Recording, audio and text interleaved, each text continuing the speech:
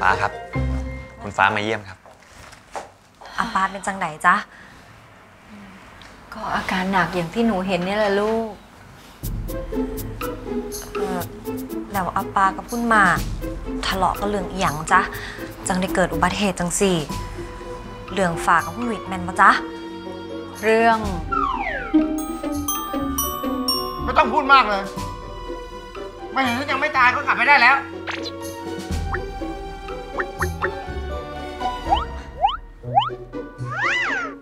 ถ้าบอกให้กลับไปไง ฮะ ฉันบอกให้กลับไปเลยออกไปได้แล้ว ไป ออกไปได้แล้ว ไปไปไปไปไปออกไปได้แล้วบะป้าอะไรอะไรเนี่ยป้าโกหกมาอีกแล้วเหรอไม่ใช่มามาไม่มีอะไรจะพูดกันอีกแล้ว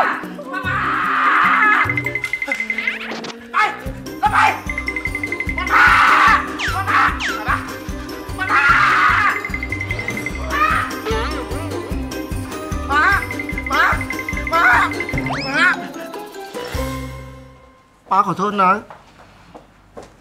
อย่างอนนักเลย อายลูกๆมัน ไม่อาย และข่าวเนี้ย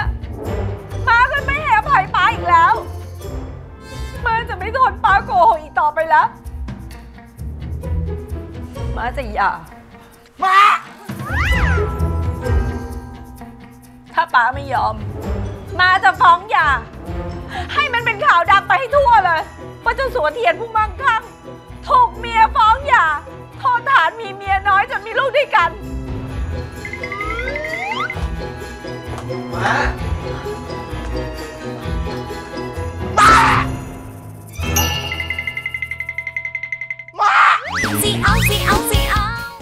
แอป CS 3 Plus ดูสดและย้อนหลังฟรีได้ที่แรกดาวน์โหลดเลย ไม่อยากพลาดละครสนุกกด subscribe ไปไว้นะคะ